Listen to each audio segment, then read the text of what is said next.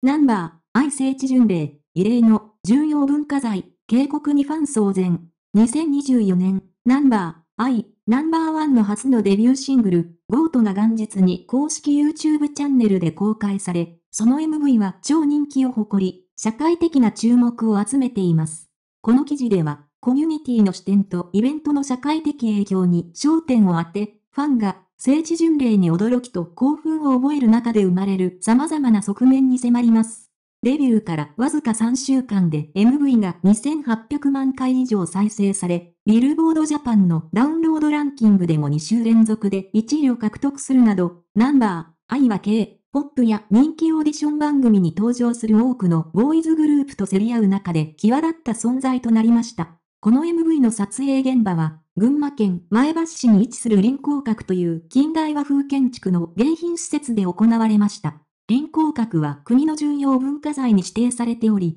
以前にも映画やドラマのロケ地として使用されてきました。その魅力ある場所での撮影により、ファンは興奮冷めやらぬうちに、聖地巡礼を始めました。しかし、この巡礼には予期せぬ驚きが待ち構えていました。臨港閣のスタッフがファンに注意を呼びかけ、撮影エリアでは特別な限界体制が取られていることが判明しました。一部のファンは施設内でナンバー、愛の MV を再現し、その興奮に任せてしまったようです。係員が持っていたマニュアルには、ナンバー、愛のファンは騒いでしまう可能性があるから、要監視との一文が記されていました。臨港閣は無料で入場できる施設なので、普段は係員が入場者に声をかけることは稀なんです。でもナンバー、愛の MV 公開後に再訪して、メンバーが撮影したエリアに行って、テンションが上がってしまい、友達とナンバー、愛の MV を真似して少し騒いでいたら、重要文化財だから踊ったり、傘を振り回したりしないでねと係員に注意されてしまったんです。